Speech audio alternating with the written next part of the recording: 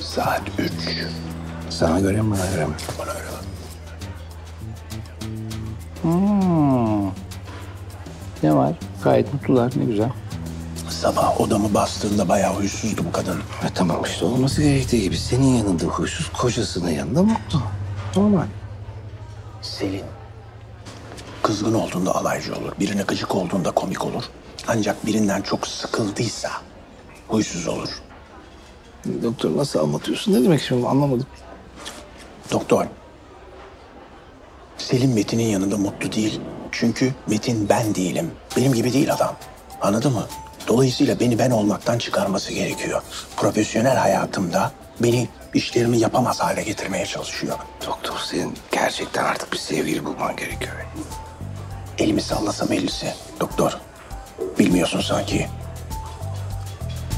Her gece barları dolaşıyorum. Yalnız kadınlara kırmızı gül dağıtıyorum.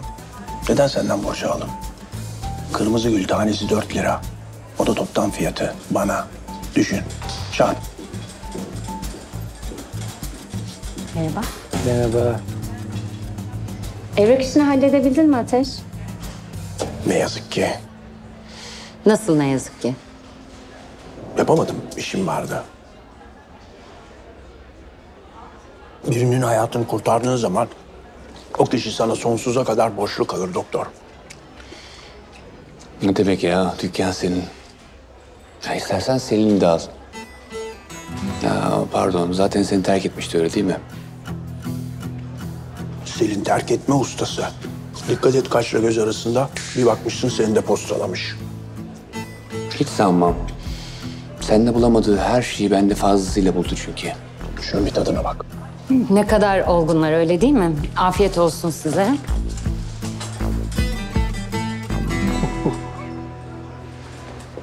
Salı cuma değil miydi bunun fizik tedavisi? Terapi grubuna başlıyor bu engelleriyle başa çıkamayan insanların grubu var. Hadi göm. Gömmeyecek misin?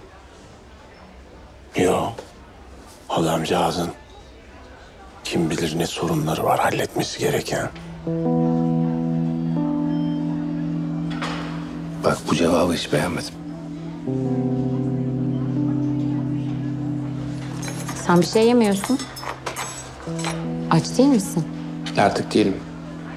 O adamı görmek iştah bırakmadı bende. Canını sıkmasına izin vermeyeceksin. Değil mi? Emin ol bunu senden çok daha fazla istiyorum ben. Yani kendime telkinlerde bulunuyorum. Ama onu her gördüğümde sinirime dokunuyor adam ya. Gülme. Ha böyle dirseğinin tam ortası kapıya vurursun ya canın yanar. İşte aynen öyle. Ama bunu çok güzel anlattın. Ateşin öyle bir etkisi oluyor insanlar üstünde. Sen onunla baş edersin. Ben bilmiyorum. Ha, gerçekten bilmiyorum. Yani burada öyle zırt pırt karşılaşacaksak. Belki de terapiye başka bir yerde başlamalıyım. Nasıl istersen öyle yaparız. Ama Gülay Hanım bana gerçekten yardım ediyor. Grup terapisine gidersen sana faydası olacağını düşünüyorum. Psikiyatri katında ateşin hiç işi olmaz. Biz de burada yemek yemeyiz. Böylece karşılaşma ihtimalimiz Tamam. Tamam ben zaten saçmalıyorum. Saçmalamıyorsun. Tamam ya o zaman abartıyorum. Tamam söz. Terapiye katılıyorum. Daha Gülay Hanım'la. Hem yararlı olmadığını düşünürsen başka birilerini buluruz. Ama bir dene. Sorun yok tamam. Yemeğini yiyebilirsin o halde. Afiyet olsun. Eğer sinirlenirseniz bu sefer Bakın t- tabii yani ben sürecin farkındayım. Ee, ama yani ne zaman bitecek bu süreç? Ya benim bunu bilmeye artık ihtiyacım var. Yani çünkü program yapmam lazım. Mesela ne zaman halı saha maçına gidebilirim? Ya da ne zaman geçecek benim sinirlilik halim? Bugün değil. Ben de iyileşmeye geldim aranıza. Gülay Hocam, bildiğiniz gibi benim bir bacak sakat. Bilmediğiniz şey. Bu konu beni çok üzüyor. Konuşmaya ihtiyacım var. Ee, Ateş Bey'i tanıyorsanız geçmişimizde biliyor olmanız lazım doktor hanım. Hocam yıllardır bana hep söylüyorsunuz gel gel gel Ateş Hoca gel terapiye girmen lazım anlatman lazım. Geldim. İşte buradayım. Selamlar bu arada. Kusura bakmayın.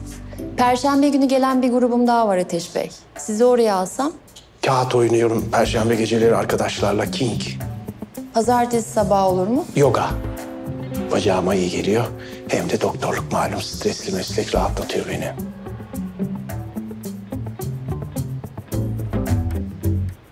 Neyse tamam. Kusura bakmayın sorun çıkartmak istemiyorum. Ben gideyim kendi öfkemle kendim başa çıkayım.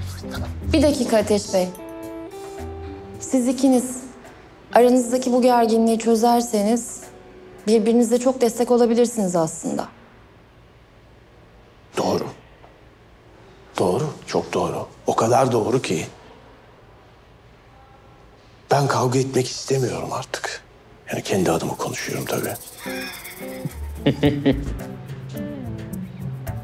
Hayır, şimdi bu teklife hayır dersem hıyar durumunda kalan ben olacağım öyle değil mi? O kadar iyi biliyorum ki o duyguyu.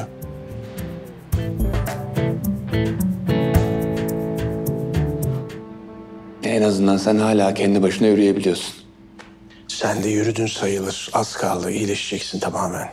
Yani senin iyi bir işin var. İnsanlar sana saygı duyuyor.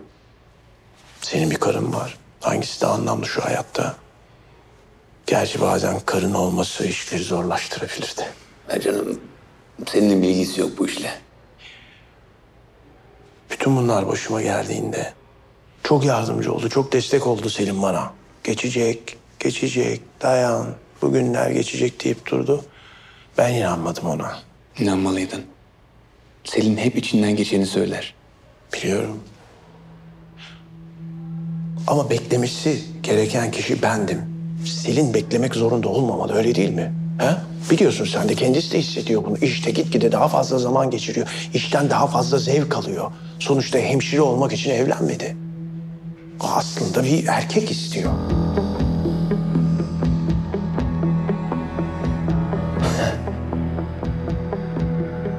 Adi herif. Selin senin gibi sinsi. Manipülatif bir pisliği nasıl sevmiş aklım almıyor. Güzel bir soru belki. İkimizde de çekici bulduğu unsurlar farklı farklıdır. Seni terk etti. Ama ilk beni seçti. Neden acaba? Hata etmiş. Heh, Belki o kadar basittir, belki de değildir. Belki ben de sende bulamadığı bir şey görüyor. Ben senin gibi pis herifin teki değilim de ondan. Belki Selim pis herifin tekiyle beraber olmak istiyor. En azından bir dönem öyle istemişti. Ya yeter. Bu- Ben bunu kaldırmak zorunda değilim. Ya o gider ya ben. Hocam, hani sıkıntılarımızın üzerine gidecektik, kaçmayacaktık. Çıkartır mısınız onu buradan lütfen? Tamam Ateş Bey. Yoga derslerinizi iptal edin. Bundan sonra pazartesileri geleceksiniz.